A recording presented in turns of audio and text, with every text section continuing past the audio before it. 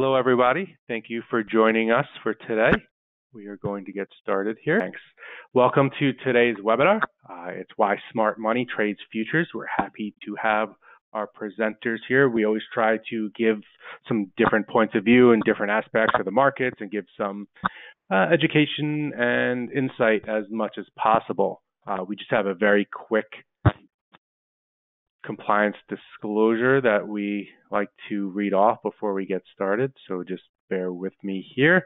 Uh, please note this presentation is for informational purposes only. Nothing presented today should be construed as investment advice or recommendation to buy, sell, or hold any security or contract. Since we don't know everyone's investment objectives or risk tolerance, we're not endorsing any specific trading strategies. Security derivative futures trading involves a substantial risk of loss is not suitable for all investors. Each investor must consider whether this is suitable investment since you may lose all or more than your initial investment. Past performance is not indicative of future results. Lightspeed is division of Lime Brokerage LLC. Lime Brokerage LLC is not affiliated with these third-party market commentators, educators, educators, or service providers. Data, information, and material, the content are provided for informational, educational purposes only. This content neither is nor should be construed as an offer, solicitation, or recommendation to buy or sell any securities or contracts. Any investment decisions made by the user through such content is solely based on the user's independent analysis, taking into consideration your financial circumstances, investment objectives, and risk tolerances. Please look at all the disclosures on the Lime Brokerage and Lightspeed websites as well.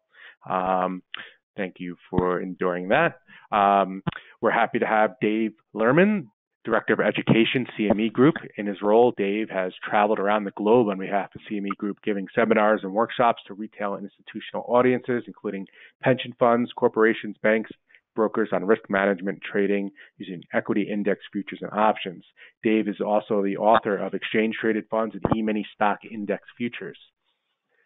Prior to joining the CME in 1988, Dave was a member at the Chicago Board of Trade where he traded futures and options on U.S. Treasury bonds. He was also senior portfolio manager at Zavanelli Portfolio Research at Park Ridge, Illinois investment management firm. Dave taught investment management at Harper College and has lectured at the Northwestern University Kellogg Graduate School of Management. Received his BA degree in molecular biology from the University of Chicago.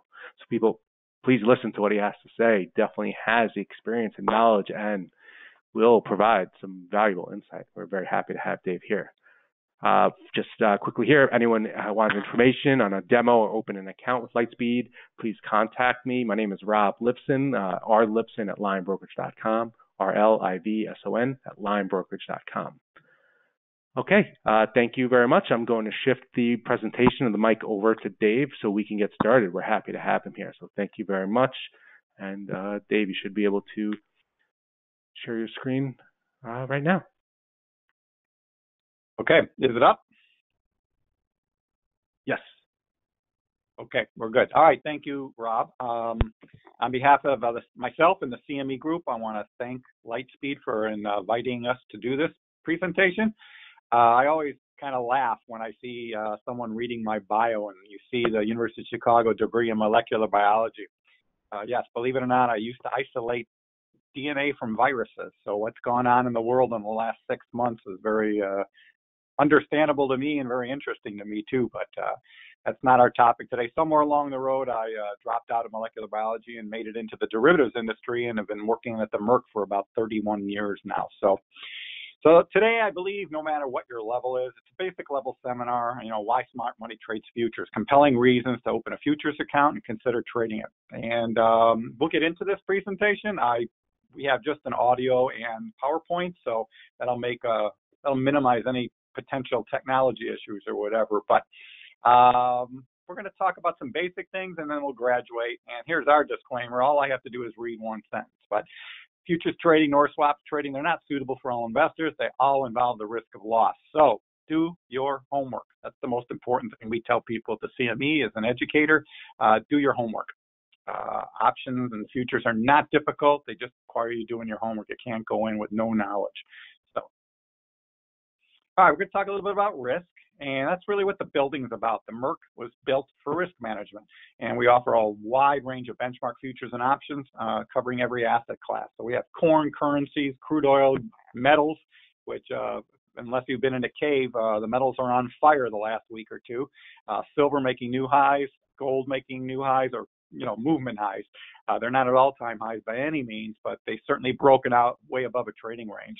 We have interest rate futures, we have agricultural futures, we have weather futures too, to some extent. So the Merc is really built on risk management, and that's there's one thing we can impart to traders, it's risk management. You have to get that right. Uh, if you don't get risk management right, uh, it's going to be really difficult to, to become a successful trader. The ones that do become successful pay very strict attention to risk management. So um, the risk management landscape is very big. This may not seem relevant, but it does. The more you know and can learn about the background and risk and why you know the futures exchanges exist, uh, the better off you'll be, the better a trader you will be. But this is a chart that I put up um, usually in front of risk management groups, corporations, or pension funds, but it just shows uh, risk management being omnipresent. It's everywhere. So you look at some of the, you know, the, the entries there. Ontario Teachers Pension Fund is arguably one of the more sophisticated pension funds in the world. They use our products for their tech, tactical asset allocation programs. They use them for cash equitization. They use them to hedge. They use S&P 500 futures and options. General Mills, obviously, they make Cheerios and a whole bunch of cereal that we all enjoy. They use corn and wheat. Uh, so any raw material price increase is a risk for them, and they use corn and wheat futures contracts. Uh, McDonald's, obviously, they sell billions and billions of burgers every year, and uh, the price of cattle, live cattle, going up can have a substantial impact on their their bottom line. So they might hedge using cattle futures. Uh, go on down now. Uh, Starbucks, believe it or not, yes, coffee is a risk. Coffee moves up and down in price. But more importantly, uh, coffee also uses, uh, Starbucks also uses a lot of dairy. So they use our dairy futures contracts to mitigate their risk. And then down, just we'll skip down here. We're not going to spend a lot of time on this slide, but you'd see Coca-Cola. I see question marks. you'll see question marks. Um, whoops. Well, Coca-Cola does business in 200 countries. They're based in Atlanta, Georgia. So what do you think that means? What's the risk? Well, currency risk. All those 200 currencies all have to be brought back to the United States and converted to US dollars. So Coca-Cola has a nightmare when it comes to foreign currency translation risk. Uh, so they have an entire in-house team that hedges their uh, their currency risks, and uh, you can you can imagine that they are uh, very very adept at doing that kind of thing. So Citigroup, uh, the big large money center bank, all areas. They have risk and interest rates. They have risk and you know stock indexes. They have risk and currencies. The large money center bank, international money center bank. So they use all our futures and options contracts. So where do we come from? Before we go on, we have to say, where do we come from? We were primarily only an agricultural center, all right, from a regional agricultural center to becoming a global derivatives marketplace around the world. How do we do that? Uh, well, the business began in the 19th century, um, where uh, we did mostly agricultural products, right? and that helped grow the city. You know, it, it, one part of the country would have a surplus of grain, and another area would have a shortage of grain. So someone got the idea we can get together, get people together, and they can trade. And someone that has a surplus, if someone has a need, they can get together and exchange and trade. And the idea worked very, very well. You could see them; they have chalkboards. Everybody's wearing a tie and a white shirt. Uh, the floors are largely gone now, but they're still there for a couple of products. Uh, and soon thereafter, the seat of Chicago became the center for commodity futures trading and options exchange. And we had three exchanges the Board of Trade, the Chicago Mercantile Exchange, and the Mid America Commodity Exchange. So uh, that took us into the late 90s. Um, but before that, a very interesting thing happened, and then we'll start to accelerate our, our talk here. But uh, in 1972, uh, Leo Melamed, actually it was before 1972, Leo Melamed had an idea that if you could trade a futures contract based on cattle and pork bellies and things like that. Why not trade them on financial instruments like currencies or stock indexes or whatever? So he was 29 years old at the time, and he didn't think that uh, he'd get too much credibility from the board of directors. So what he did is um, he decided to enlist Milton Friedman, a Nobel Prize winning economist, to uh, write a white paper about the feasibility of doing financial futures on things like currencies. And given the Bretton Woods currency agreement was starting to unravel and it would lead to a lot of volatility in worldwide currency markets, Milton Friedman thought it would be a terrific idea. We paid him about, I think, 7,500 bucks, and it was probably the best $7,500 investment the CME has ever made because it turned into a multi-hundred million dollar industry in currency futures and options. So it's pretty interesting. And then uh, 1972, we launched the first contracts. They were on currencies. They were on the major currencies. And they didn't trade very much, but boy, they do now. They do several hundred thousand a day just in the euro alone. Back then, they do, you know, a couple dozen a day when we first launched them. And then we went to the pits.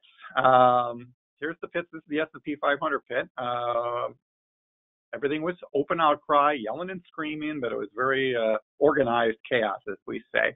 Uh, but it didn't last for long because in 1997 we launched the E-mini S&P 500. We launched Globex in 1992, and now uh, everything is pretty much 95% of our volume is electronically transmitted and matched via our Globex computer-driven system. So you can see we have server banks all over uh, various parts of the suburbs and stuff like that. The pits are going away. They're still around. Uh, believe it or not, the most liquid options contract still trades in a pit. It's options on Eurodollar futures. They still trade in a pit, although the pits are closed down till August 10th. Uh, they've been incredibly liquid. It's the most liquid options market by far. If you want to do a 100,000 lot trade, which is a very big trade, you can, but uh, no one, very few people do that. So that's it for the history of how the Merc evolved to a you know open outcry system, right on the chalkboard to basically electronic trading. We still have some pit trading, although now the pits are closed until August when some of them will start to reopen because of COVID-19. All right, so let's get into it now. Why smart money trades futures at CME Group? Some of these are very simple. We'll get into them in detail, some of them, and some of them we'll just gloss over pretty quickly. Uh, but real quick, execution costs, liquidity, capital efficiencies, around the clock trading, strategic reasons. They're pure direct play on markets and asset classes, and we'll explain all these things too. Supply and demand, smoke and mirrors absent. Uh, regulatory infrastructure is present though. We'll talk about that with a couple of cases that uh, happened in the last 10 years, 20 years. The clearinghouse margining system forces risk management. So if you got bad risk management, futures are a great place to play to learn about risk management because your brokerage firm, um, Lightspeed, or your the clearinghouse, the Merc CME clearinghouse, uh, forces risk management via our margining system and variation margin and uh, margin calls and things like that. Also, active traders participate in the futures market, they, including very large pension plans, uh, foundations, big hedge funds. And if they're doing it, you know, it behooves people to look into trading at the very least. They're they're very good indicators to the futures markets. They sometimes will give you a heads up on certain things, like overnight, the stock index futures are open while the U.S. stock market is not. It'll give you a really good idea of what's happening in the markets overnight. So looking at futures can be sort of an indicator. And also tax considerations. We'll leave that for last because that's really important. That's one of the things that you know gets people to jump on one side of the fence and come to terms with futures and open a futures account because you're going to save a lot of money in taxes. They're taxed totally differently and more efficiently. All right, one execution cost. Futures are very liquid. They have very narrow bid offer spreads. Now, there's a lot of things that get into execution costs, you know, but we're not going to talk about them other than the bid offer spread. That's the most important. If your bid offer spreads are really, really wide, you know, like Apple Computer it was 355 bid, 420 offer. That's a pretty big bid offer spread. Uh, with futures, you have basically one tick markets. The minimum that they can move is the bid and the offer. And, and that's a big thing. If you're paying away very large bid offer spreads, it's going to eat away at your potential profit. So you want very narrow bid offer spreads. Usually want one tick. The E-mini S&P 500 uh, usually crude oil, uh, gold, all those, uh, usually one or two tick markets, and most of the time a one tick market. So execution costs are very, very important uh, to traders. Second one, liquidity. Uh, believe it or not, um, some of the most actively traded products on CME that, that active traders trade are the E-mini S&P 500, the micro E-mini, which we launched last May, a little more than a year ago, crude oil, gold, and Euro FX. These are also some of the most liquid futures contracts that you can trade. The E-mini S&P 500 does one and a half to two million a day. The micro E-mini stock indexes do about uh, a million to you know 700 to a 100,000 to 900,000 every day. Crude oil does over a million a day. Gold does three to 500,000 contracts a day. And remember now, these are very large contracts. They're they're bigger than 100 shares of a stock. Um, Euro does 200, 300,000 contracts a day, and the dollar's been very, very weak lately. So there's been a lot of activity in there. So you have good liquidity, you have excellent liquidity in most of the top 20 or 30 futures contracts, and in the top five that most active retail traders trade, it's incredibly liquid. You'll have no problem getting in at one lot, five lot, 10 lot, which is a one contract, five contract, 10 contracts at a time. Very good liquidity. And again, you want to be able to get in and get it out really, really fast. You want to be able to do it, well, around the clock. So uh, we'll get to that later. Uh, capital efficiencies is the third reason why, compelling reason why you should consider opening a futures account. Let's say you wanted to buy $150,000 worth of the S&P 500. Which of the following choices allows the better use of capital? Uh, an index mutual fund, the S&P Spiders, which we all know about, and, or the E-mini S&P 500. Well, if you look at the slide, to buy the, the Spiders, um, 500 shares is what it would take to get $150,000 worth. Uh, the margin, uh, you'd have to put up 50% margin, so about 70, 75,000 dollars of margin would be required. The E-mini S&P 500 would control about $150,000 worth of the S&P 500. They would track each other very closely. You don't have to. You only have to put up about six thousand dollars.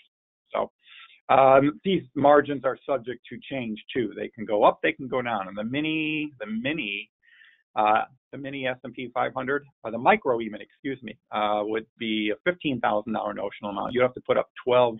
Now remember, margins change when things get more volatile. Margins go up. I think the margins are actually higher in the mini S&P 500. They're 12,000, and the micro E-mini is 1,200. So there's a huge difference there in the amount of money that you have to put up, and capital is very precious. Uh, you want to be able to diversify a portfolio and have several futures contracts. And that's a nice thing about the micro E-mini S&P 500 and the micro E-mini indexes is that they're very small notional amounts and very, very small um, capital requirements. So small traders, people that are new to their learning curve, people that are new to the industry can do it with far less risk than the pit traded S&P 500 or the E-minis, which are much, much larger in notional value. Ah, here it is, around the clock trading. So you want liquidity, you want narrow bid offer spread, you want to be able to get in and get out. It's great to have liquidity in just the North American time zone, but what if you're a European trader or you're an Asian trader? What if you need liquidity in other time zones? Well, this is the great thing about stock index futures and most of our products. They trade 24 hours. As a matter of fact, they trade more in the Asian time zone or more in the European time zone than they do in the North American time zone. This is good. Not all products are like that, but they have good liquidity in all three time zones. So if you're uh, based in the United States and you needed to get in or out of a trade overnight, which happens sometimes, uh, you'll be able to do so. There's very good liquidity in the non-U.S. time zone. And just to give you an idea of how good that liquidity is, a case study here from the election in 2016. Uh, we all know what happened, uh, but what happened in the markets was really interesting. So Hillary Clinton had a five to 10 percentage point lead in the polls. She had the backing of an incumbent president, and she had uh, was married to a former incumbent president. she had a billion dollar campaign chest fund to spend on advertising and ads. Uh, interesting. So, not too many people gave Trump a chance. So, just on the hunch that maybe an upset could be pulled and that Donald Trump would win this election, people were really, really scared the night of the election. Excuse me. And as a result, they sold off the Dow futures overnight about 900 points, and the S&P 500 was down its limit at about 90 points. But an interesting thing happened. The very action, the very thing that they were scared of, a Trump win, a Trump victory, as it started to materialize as the night went on, Trump was winning states he wasn't supposed to win. There were some battleground states that he actually won. And as a result, it became very real possibility that Donald Trump will win the election. And as a result, the very thing that everybody was scared of turned out to rally the market. As Trump started winning more and more states, Florida, Michigan, Minnesota, and uh, the market started to rally. So isn't that funny? Interesting. The interesting thing though is that you can see the volume, you see the price action, you can see the volume. There's a lot of trading. We did hundreds of thousands of contracts that night. Uh, we actually did more contracts at night than most futures contracts do during their primary trading hours. So uh, because Globex was open and futures were available to trade, people did, and they traded heavily. This this actually is, comes into not just election. This happens when there's a major announcement of something coming out of Europe or out of Asia. During the Brexit announcement, it was also very handy to be able to trade around the clock. And when the Swiss National Bank surprised everyone a few years back and depegged the Swiss franc from the euro, and the Swiss franc rallied 30% in about 10 seconds. And boy, there were some very, very big gains and some very, very big losses. But the whole key point is you have good liquidity overnight too. All right, fifth reason you trade futures, strategic reasons. All right. There are things you can do with futures that you can't do with um, in the stock market or the ETF market, like spreads, intermarket spreads. We're not going to get into the detail here. I had a couple slides before, but we decided that'd be a little too detailed. But you can, if you think large cap stocks like the S&P 500 are going to underperform small cap stocks, you can take that opinion in the futures market and go short the S&P 500 and long the Russell 2000 index. You can do that through futures. It's very easy to do. You could spread WTI crude oil, the West Texas Intermediate, with Brent. They're trading at a $3 price difference from each other. And they went as high as a $30 price difference many, many years ago. Uh, you could trade the yield curve. You can spread two-year notes versus 10-year notes. So you can't do this in the stock market. Uh, it's very hard to do. You can only do two-year versus 10-year note yield curve. You can only do it in futures. Um, you intermarket spread, July versus November soybean. You can only do this in futures. And many uh, good traders that have great success over the long run have spreads as part of their trading arsenal. So you want to do futures because there's strategies you can do that you can't do in the stock market or the ETF market. Sixth reason, there are pure direct participation or pure play on markets and asset classes. I always get phone calls, uh, you know, should I trade, you know, I want to trade the energy market. Should I trade ExxonMobil or should I trade Schlumberger? Should I trade, you know, Royal Dutch Petroleum or something like that? Well, if you want to trade the energy market, trade the energy market directly. Crude oil tracks the crude oil cash market uh, basically 99%. ExxonMobil and Schlumberger don't. ExxonMobil, there are times when crude oil goes down and it goes up, and vice versa. Same thing with Schlumberger. ExxonMobil is a gigantic, large integrated oil company. They have upstream, midstream, downstream operations. Uh, they have a chemical division. All these things, um, you know, impinge on it on a day-to-day or quarter-to-quarter basis. They may not move lockstep and barrel with crude oil futures. And the same thing with metals. You could trade. You could trade the miners. You could trade silver miners, gold miners. You can trade ETFs. But the best and most efficient way to trade gold and silver, as uh, any gold and silver trader has found out the last two weeks, is gold and silver futures. They're very liquid. They trade in a 24-hour basis, and uh, there's tax advantages, and it's just a really, really good thing. And the volume in gold and silver, I mean, they just had a major breakout, not to all-time highs, but a major multi-year breakout. So that's something you really need to consider because there are people that uh, they play a market. You can make money, but why not play it the optimal way? Um, regulatory infrastructure. Why trade futures? Uh, first of all, CFTC NFA, that's part of our regulatory infrastructure. We're regulated by the Commodity Futures Trading Commission, the National Futures Association, the NFA. We have an in-house compliance and surveillance.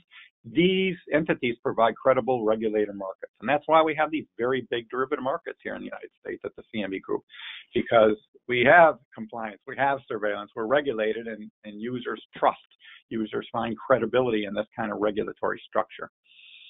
Um, pure supply and demand. Our markets are pure supply and demand, basically. Um, smoke and mirrors are largely absent in a pure supply and demand environment. Corporate earnings can sometimes be manufactured and manipulated. If you look at Enron, remember Enron remember MCI WorldCom, um, they finagled their numbers and they eventually got caught. Uh, you can't do that. You can't mess with, uh, you know, five trillion dollar a day market, the currency market. Very tough to manipulate it. The S&P is a 26 trillion dollar market. Uh, no one can manipulate that. No one's big enough to do that. So that's a great thing about the futures. They're very large underlying markets, and they're more honest than uh, the accounting at some stock firms, uh, at some some corporations. Very tough to manipulate the five trillion dollar day currency market. Like I said, ditto for the S&P 500. So having the regulation uh, gives us credible markets and it allows people to trade, you know, based on just pure supply and demand. So you can see CFTC. Um, I'm not going to get into all these things, but U.S. futures industry has a long history of federal oversight, so that's a good thing. Okay, why trade futures? Reason number eight: clearinghouse margining system forces active risk management. Uh, like I said, um, they say that if you don't have good risk management, the futures markets can be a very, very interesting place for you to you, you'll you'll be forced to learn your risk management. I, I turn it around though and think, you know what? If you don't have good risk management skills, the futures markets will hone them and they will hone them very, very fast. Um, so you have the clearinghouse. The clearinghouse, they're the ones that calculate initial performance bond margins and they also calculate maintenance margins. Uh, they do the mark-to-market settlement every night for every futures contract, and they do the variation margins too. So let's say um, I trade with one of you, and we'll just call you Bob. Okay, so Dave makes a trade with Bob. Let's say Dave makes one thousand, Dave loses a thousand dollars trading E-mini S&P, and Bob makes one thousand. The clearinghouse will transfer a thousand dollars out of my account. They'll debit my account and credit Bob's account for a thousand dollars. So the MERC is very important in terms of all the variation margin. Every day that's going to change. Every day you're either going to make or lose money, and that money will be debited or credited to the two accounts, the two counterparties accordingly. All right. They also set the margin. So the you know Bitcoin margins are like 37% of the contract. The E-mini S&P 500 is about seven or eight percent of the contract. Why the difference? Bitcoin was very volatile. Bitcoin volatility was about 150% at one point. The S&P 500, despite how volatile it's been, not, didn't get anywhere near 150%. Even at the height of the pandemic, it got to 78%. It's now trading at about 30, 25, 30%.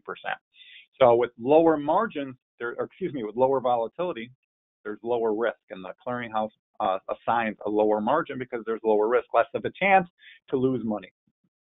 Uh, the variation margins are just what's collected every night based on the settlement, and uh, the CME does this every night. And they can also do it intraday if there if need be. All right. They can change margins anytime they want. So anytime you see margins, remember subject to change. And maintenance margin. So if you put up an initial margin of six thousand dollars on a contract, there'll be what's called a maintenance level, and uh, it might be five thousand dollars. So if you get down to the five thousand dollar level, in other words, if you lost one thousand dollars in trading, you would have to bring your margin back up to the full $6,000 amount. Your clearing firm, your firm, FCM, Lightspeed would do this for you. But uh, you don't want to get in a situation where you get a margin call. So you, people just generally leave enough money in their account that they wouldn't have to worry about a maintenance margin call, and they trade accordingly. And that's part of the risk management. You trade the correct position size. If you have, you know, a $10,000 account, your firm is not going to let you trade 100 mini S&Ps. You don't have enough margin money. All right. So you have to make sure you get your position sizes correctly. There's a lot to learn. The learning curve is not difficult. In a couple months, you can have the basics down, or even a couple weeks have the basics down. But to become a good trader takes a longer time, probably years, to become a good trader. Uh, so at the clearing process, they monitor all trades. They ensure the financial integrity of every trading party and the transactions in their respective markets. So that's a good thing just a little bit. We're not going to get into this, but these di- diagrams are really complicated. But you can see clearing firm A, clearing firm B. You can see all the customers. It's a very, very in, um, intense structure that involves the settlement banks, the CME clearinghouse, uh, swap execution facilities, clearing firm banks, customer banks. And this is the dance that's done every day. Um, the money just goes from one account to another account, to a bank, to a customer bank, to a settlement bank, and the system works very, very well and has for almost 200 years. People think, you know, there's there's businesses that have been in business for 20, 30 years. Well, the CME, the Board of Trade, have been in business for over 190 years. It's almost two centuries. So we've gotten pretty good at clearing trades and mitigating risk. Not perfect, but uh, good system. Um, there's a detailed uh, diagram of how a trade would work, clearing firm A, clearing firm B, and you, again, we can. You um, Lightspeed, I believe, is going to archive this, or if anyone wants the slides, contact um, contact Lightspeed. They can, they will have the ability to distribute this. I will give them permission to send these out. But you can just see the interaction with the clearinghouse and the various brokers and trades that go on. And I don't want to get into too much detail of this, but it's a very well-oiled system and it works pretty darn good and has for a long time.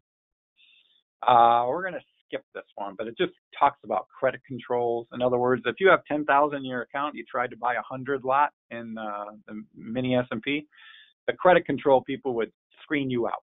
All right. If you try to put too large an order in, the maximum order quantity would fail. If you try to put, it, you know, you wanted to be a rogue trader and trade 10,000 contracts, you could never do 10,000 contracts at one time. So, anyways, we have all these things that allow for risk mitigation. And believe it or not, once your order is placed and it's executed, assuming it's a market order and you pass all the credit controls, everything, all this is done in less than a millisecond. So it's pretty amazing how uh, the system works. The Globex matching engine is very, very robust, very fast. Um, there's some latency occasionally. Things slow down to maybe 100 milliseconds or 500 milliseconds if there's a lot of trading going on and a lot of volatility. But in general, 95% of the time, trades are done in a millisecond or less. Uh, more on the risk mitigation. Again, if you want to see what the CME Clearinghouse does to monitor risk, look at all those bullet points. They risk monitor 24 hours a day, six days a week, daily mark to market. I heard um, someone from the Clearinghouse give a talk once that talked about how they monitor the risk, and it's just incredible what they'll look at. They'll look at credit default swaps, they'll look at clearing member, performance bonds, portfolio margin, collateral, risk policies, credit risk. Uh, they look at all these things basically 24 6. And that's why we're pretty good at what we do. Acceptable collateral, again, that's something you can look at on your own. Um, you're going to put cash down or treasury bills for the most part. When you open an account with Lightspeed or trade futures, you'll probably just have cash in your account or treasury bills or something like that. You won't do strips or MBSs or, you know, US you, would do U.S. Treasuries or cash, and you can see there that that top line, the top tier of lines. But most people don't put corporate bonds on or foreign sovereign debt or ETFs and stuff like that. Other partners in the market, CME clearing relationships. Uh, you can see uh, we work with the uh, Options Clearing Corps and also the, deposit, the tongue twisted Depository Trust uh, entity, DTCC. Uh, we work with Dubai, Dubai, Dubai Mercantile Exchange, the Eris Exchange. Also, we have mutual offset with the Singapore Exchange. We have clearing and settlement banks that we work with. They're very large entities. They're all household names. And then here's the CME clearing member, some of the CME clearing member firms, and you can see all the various firms. They're very, again, household names, very big names. This is all on our website, so you can uh, check it out. So back to our 10 reasons, 10 compelling reasons. All right, so why trade futures? Number nine, uh, many active traders participate in futures markets, including large money managers and pension funds. So if you look at some people with some of the best track records, Michael Steinhardt, Julian Robertson, George Soros, the Harvard and Stanford endowment, and stuff like that, SAC Capital, they all trade futures. To some extent or enough, they all trade futures contracts. Um, and if they have amassed the great track records they have, and futures have been part of that. It behooves traders, uh, new traders coming into the market, to look at that. They're also they can be great leading indicators for the cash market. Again, um, overnight, what the mini S&P futures does overnight, it's going to be a wonderful indication as to how the U.S. stock market is going to open up the cash market during the day. So you want to look at that. U.S. Treasuries or the currency sell off violently, you could be sure that other markets are probably going to follow too. If the crude oil market sells off violently or rallies dramatically, it's going to impinge on several certain sectors and the stock market. So if you trade the mini S&P or trade, you know, anything equity related, there's a lot of things that can help propel the market higher or drag it down. So you want to you want to at least study futures. Uh, they'll make you a better financial consumer, so to speak. They may not make you a great trader, but they'll make you a better trader if you look at futures contracts. But you know, trading them offers several wonderful advantages that, of course, we've highlighted in this webinar. Tax considerations. See if I got this thing up here now. All right. So who makes more? Someone who has a $10,000 profit from trading securities or someone who makes $10,000 profit trading futures contracts? All right. Futures trading falls under the Internal Revenue Code section 1256. That means they're taxed according to the 60-40 rule. 60% of your gain is taxed at a lower long-term capital gains rate. 40% of your gain is taxed at an ordinary income. So someone in the 32% tax bracket, one of the higher tax brackets, um, the blended rate would be around 28% for the highest tax bracket. Actually, the highest tax bracket, I think, near 40%. But if you're in a 28 or a 32% tax bracket, your uh, blended rate would be around 21%. So I paying 21% on a $10,000 profit versus paying 28%, um, that's substantial. That's 280 $2,800 versus uh, $2,100. So it's going to save you $700 trading futures versus an ETF or a stock. This is on short-term gains too, things held less than a year. So it's something you want to consider. Um, and at this point, I usually ask someone, you know, they raise their hand, they go, oh, okay, is it worth the hassle just to save on taxes? I go, well, I just simply return the question and I say, are you a good trader? Because you're you're a good trader and you can make decent profits consistently every week or every day.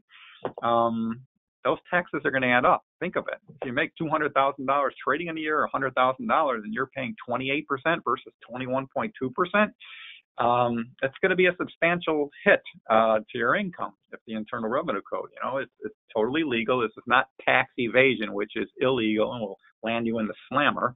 It's um, tax avoidance, which is totally legal. Um, as long as you have an accountant, accountant's blessing, you know what I'm saying. Okay, so those are the 10 reasons. So just a real quick thing here. I have the contract spec here for the micro contracts. I'm not going to go over all of them, but before you trade any futures contract, you um, you should you should understand the contract specs. You don't have to memorize them all, but you know you probably focus on the mini S&P 500 and maybe the micro E-mini NASDAQ. Now, MES and MNQ, those are the ticker symbols. You have the contract multiplier there, so it's just $5 times the S&P 500, what it's trading at. So if it's trading at 3000 uh, 3000 times 5 that's $15,000. That's the notional amount of the contract. You only have to put up a small amount of that. So minimum price fluctuation is called the tick. Now in uh, stocks, they move in penny increments. 0.01, 0.02, 0.03. In futures, it's different. We have things called ticks. And with the micro E-mini S&P, we trade in quarter point increments, 0.25 index points, and that equals $1.25. So if the S&P 500 goes up one full point, that's four quarters of a point, uh, and that would be um, $5. So we move from 3,000, 3,001, you make $5. So you can see you have to you have to we have a trading simulator too. The CME group has a trading simulator, and you could trade the mini S&P and the micro E-mini S&P and the micro E-mini Nasdaq. You could trade many contracts, and uh, you can set up a hundred thousand dollar account, fake money, but it's a great way to learn and understand how margins work. It calculates your um, realized profit, unrealized profit, realized gains. It calculates your margins for you. Um, and it's very, very realistic, much better than paper trading. So go to the CME group um, website, cme.com slash education. Our education part of the website has um, the trading simulator. And it's very easy to get into. You might have to register and put a little bit of information in there, but in general, the trading simulator works very well for someone that's brand new to trading or is just starting their learning curve, knows a little bit, but it'll help you calculate your profit and loss. It'll help you understand ticks and uh, it's very realistic and it will chart the market real time or pretty much real time. So we're uh, you can read those contract specs on your own. Uh, we don't have time in this webinar. We want to leave time for questions, but um, just to show you contract notional values along across a sampling of products. You can see the standard S&P. This is the one that was launched in 1982. It used to trade in a pit and electronically. $750,000 contract. So if the S&P moves 1% in a day, which it does frequently now, that's 7500 bucks. That's a lot of money. The average futures accounts, you know, what 20,000, 30,000 and you'd take a large amount of money out of the account on that size contract. That's why we came up in 1997 with the E-mini S&P 500. It's a $150,000 contract, one fifth the size of the standard S&P and a 1% move would be $1,500. So a little bit more digestible there. And then we launched the micro E-mini, and it's a $15,000 contract down there in the uh, at the at the bottom there. Very, very, very small uh, contract size, perfect for a new trader. If the S&P 500 went to zero, which it's never done and probably never will, and the most it's ever gone now is like 77% in the depression. Um, if you lost 100% of the notional value, it's $15,000. a lot better than $750,000. But again, the odds of the S&P 500 going to zero are never happened in the history of the United States. So I don't know if there's any stock market that's ever went to zero, but some of them have lost 50, 70, 80, 90% of their value. But anyways, uh, that just goes to show you the size of the various contracts. Gold futures is now up to $186,000 because it's been rallying like crazy. Uh, WTI is about a $40,000 contract because it's rallied a little bit. It's a hundred, uh, it's a thousand barrels times about $40,000, $40 per barrel. So it's a $40,000 contract. So you should be familiar with these things. If you're going to trade futures, you'll probably start, you know, with a low notional value because it's, it's lower risk. And Lightspeed can guide you on that. CME can help out with education. We have a lot of good education material, and we'll get to that later. Um, we're not going to talk about this, but uh, this is an institutional way that people use. Uh, we're just going to skip over this stuff. Um, the way that one of the ways that um, institutions use our contracts, and uh, we don't need that for this seminar. Um, just so that you can gauge, um, uh, it's very interesting when I when I talk to people, uh, and I go to a lot of trade shows. I've been in the business three decades, so it's interesting when people hear about some of the returns and futures you know, can I make hundred percent? Can I make two hundred percent? Can I double my money every quarter? And it's like, what? Uh, not likely. so I put up here, this is from a book, The Man Who Solved the Market, how Jim Simons launched the quant revolution. Uh, for a long time, Warren Buffett pretty much held the top, the mantle for the best, greatest investor of all time, but he still does in the eyes of many people. But this uh, little chart shows the returns of the very, very best. Jim Simons ran the Renaissance Fund, the Renaissance Medallion Fund. It's a hedge fund, major quant fund. The uh, MIT graduate, expert in stochastic geometry, if you're interested in that kind of thing, and uh, always hired quants and physicists and computer scientists. And at first, he didn't have success, but after he fine tuned his models, oh my, did he have success! Annualized return from 1988 to 2018. That's uh, 30 years. 39%. Actually, he made a lot more. He made 44%, but he had a 2% or a 4% annual, you know, management fee, and then he took uh, like 30% of profits. So he had very steep fees, but still provided 39% returns. That's how good he was. Um, and he traded a lot of futures. He traded everything. And when you have a computer doing things, it's amazing the amount of trades. Turns out, just barely 51% of its trades were profitable. But when you make a lot of trades and you have good risk management, 51% is a really good record. All right. George Soros, 32% from 69 to 2000. Steven Cohen, 30%. Peter Lynch, who ran the Magellan Fund, got 29% for 13 years.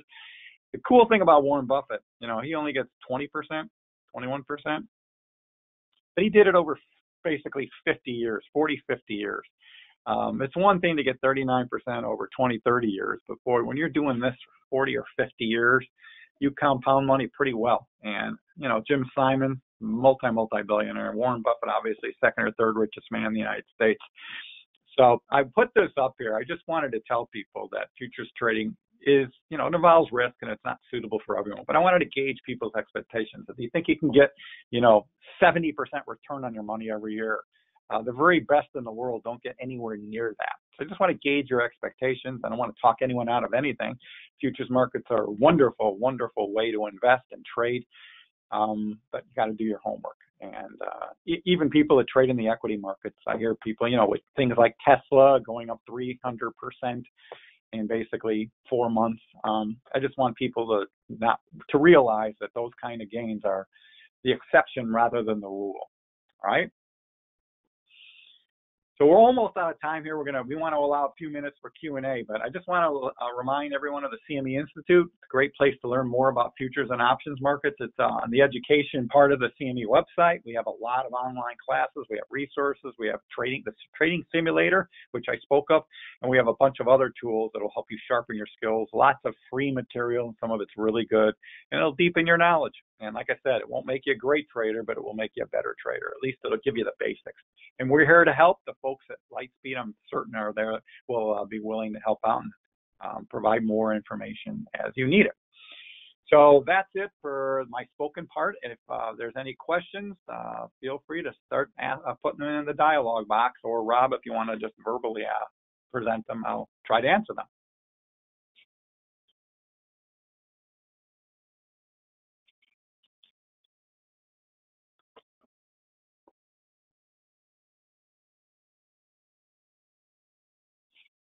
Any questions?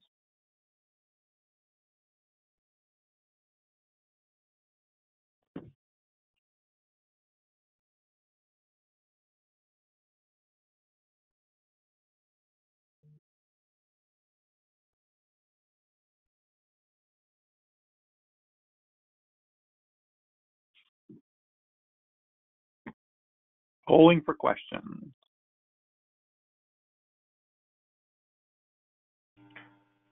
Someone did ask about uh, maybe going over some of the tax advantages if you have just a couple points to compare.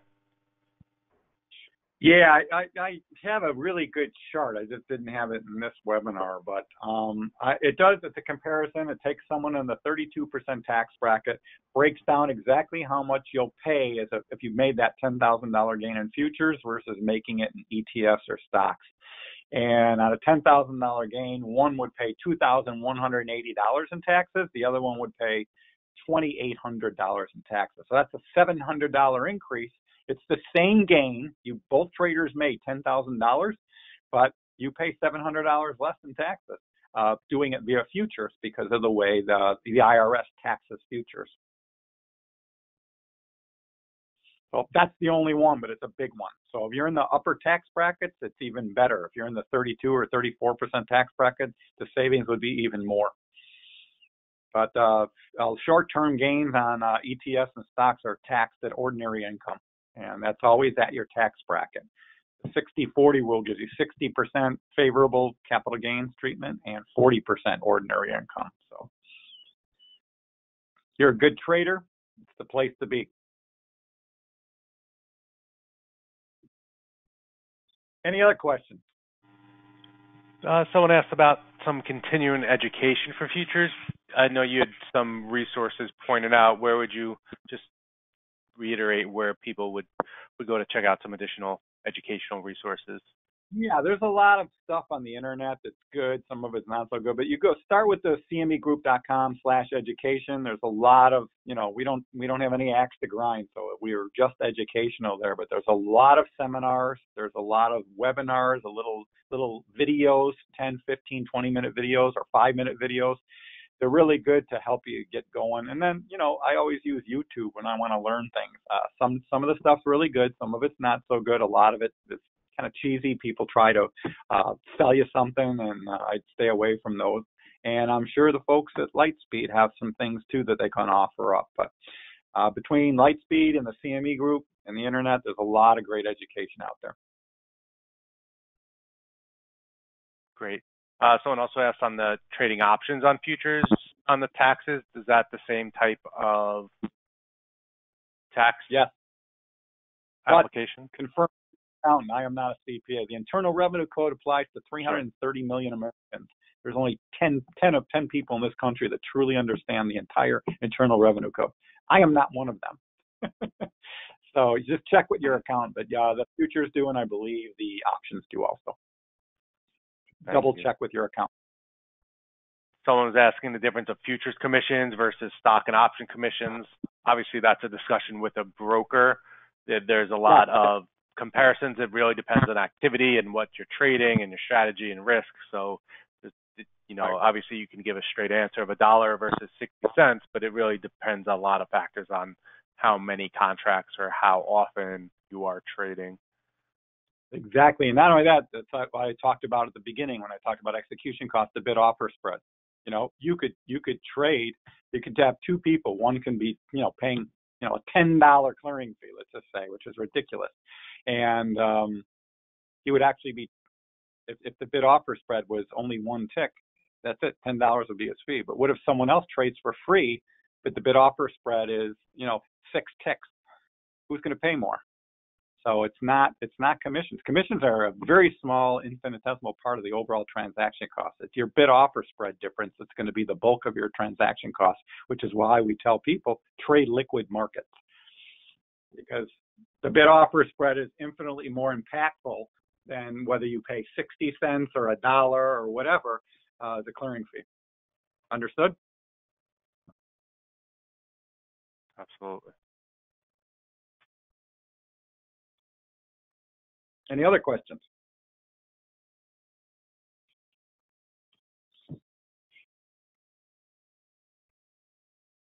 Well, Someone asked about the no simulator, more. the the account that you asked. Uh, is, does that provide for full live data, or is it is it a delayed type of environment?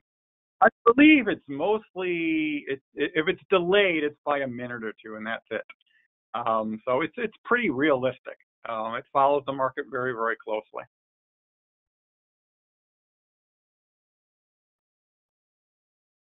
You know, in the old days, we used to be stuck paper trading. We'd write a trade down on a piece of paper and hope that it works out. With this simulator, it calculates your profit and loss and deducts it from your fake money account. So it's a very good way to learn.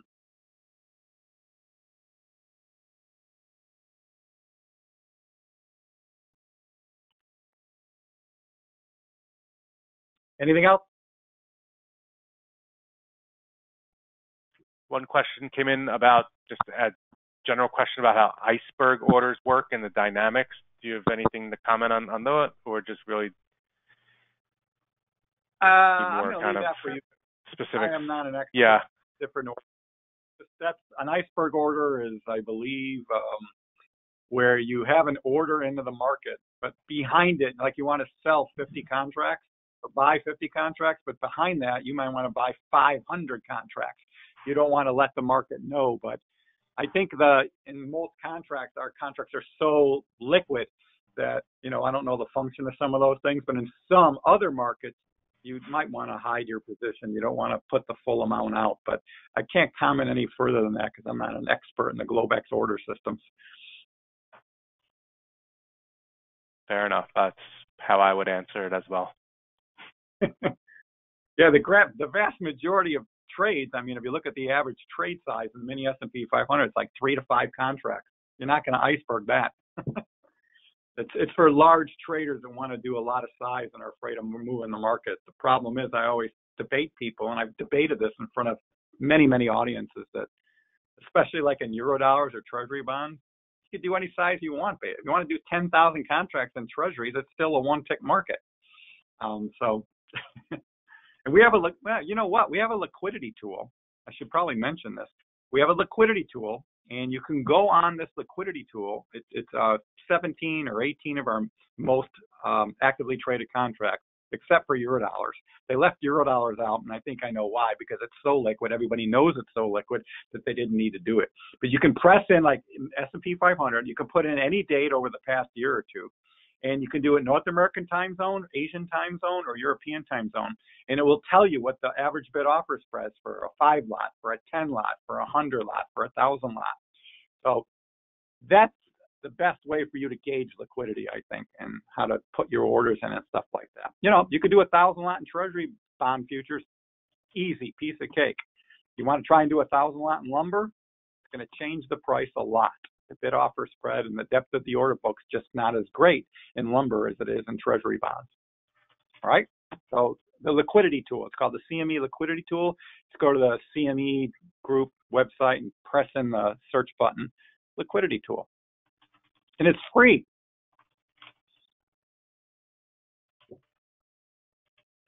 Anything else?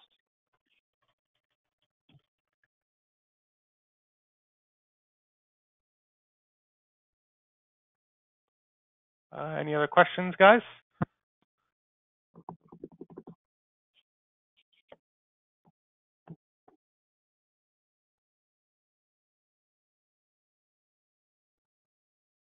Oh, good trading to everyone, and uh, make sure you do your homework if there's no more questions.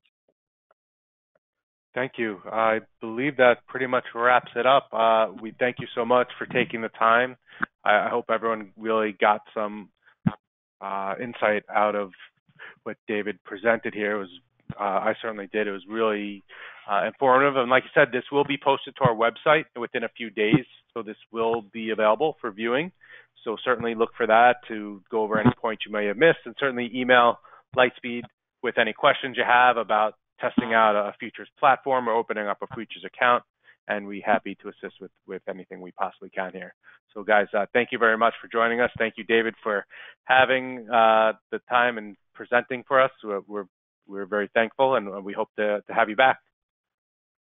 Ah, thanks. I'd, I'd love to. Um, and you're welcome. Uh, I always love working with firms and traders and new traders. Uh, it's always a pleasure to do that. Great. Thank you very much, everyone. Have a have a great night. Thank you.